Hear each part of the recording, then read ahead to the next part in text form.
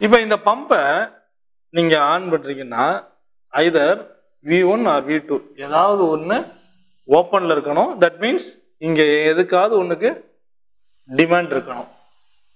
அப்போ இங்கே டிமாண்ட் இருந்து இந்த வால் ஓப்பனில் இருந்தால் இந்த பம்ப் ஆன் லாஜிக் எழுதும் போது அப்போ இந்த டிலே அதை எப்படி அச்சீவ் பண்ண முடியும்னா வி ஹவ் டு யூஸ் டைமரில் வந்து ரெண்டு kind of timer on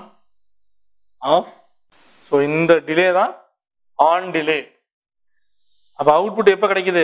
some delay கழிச்சு கிடைக்குது. எந்த சம் டிலேங்கிறது ரீசெட் அப்போ ஆஃப் டிலேனா என்ன? டூ ஒரு கவுண்டருக்கு இந்த இன்புட்டை நம்ம வந்து கொடுத்துட்டோம்னா லாஜிக்ல இந்த ப்ராடக்ட் வந்து சென்ஸ் பண்ண சென்ஸ் பண்ண ஒவ்வொரு பல்ஸையும் அது என்ன பண்ணிடும்?